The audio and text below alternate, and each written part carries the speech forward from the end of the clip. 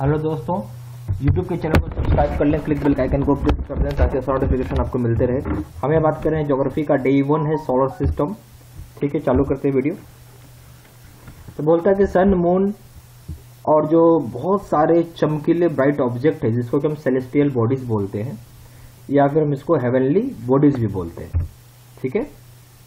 दूसरा पॉइंट ये है कि जो सेलेस्टियल बॉडीज है तो कुछ सेलेस्टियल बॉडीज जैसे कि सूर्य मून और आपका सन मून और जो दूसरे ब्राइट ऑब्जेक्ट से प्लेनेट भी आ गया।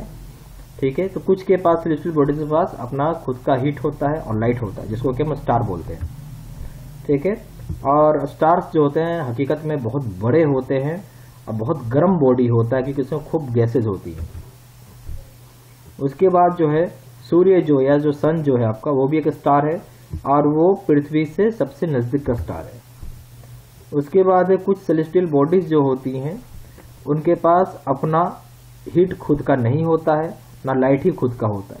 तो क्या करते हैं, जो लाइट आता है उसको रिफ्लेक्ट करते हैं, जो वो रिसीव करते हैं सूर्य से या सन से, या चाहे मतलब स्टार से, कोई भी स्टार से रिसीव करते हैं, जैसे कि उदाहरण हो गया सूर्य, उन सभी को हम प्लेनेट बोलते हैं।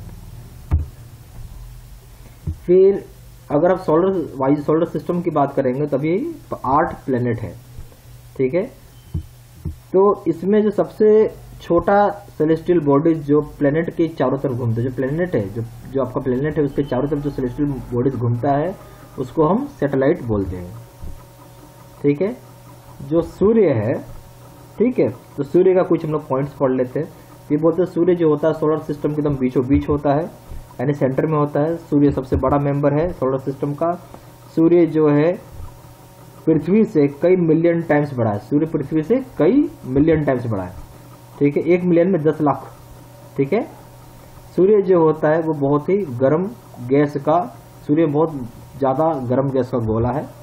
ठीक है? सूर्य जो है एनर्जी का स्रोत है। यानी सोर्स ऑफ़ एनर्जी है, जहाँ से हीट और लाइट दोनों मिलेगा पूरा सोलर सिस्टम को।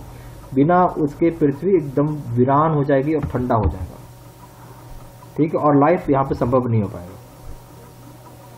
और सूर्य जो है, पृथ्वी से 150 मिलियन किलोमीटर दूर है। कितना है?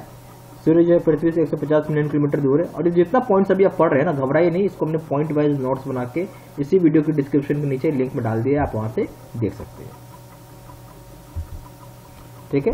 फिर जो है स्पीड जो है लाइट का वो ट्रेवल करता है तीन लाख किलोमीटर प्रति सेकंड के दर से या स्पीड से। तो सूर्य तब सूर्य को लगता है आठ मिनट पृथ्वी पे पहुँचने के लिए, रोशनी को।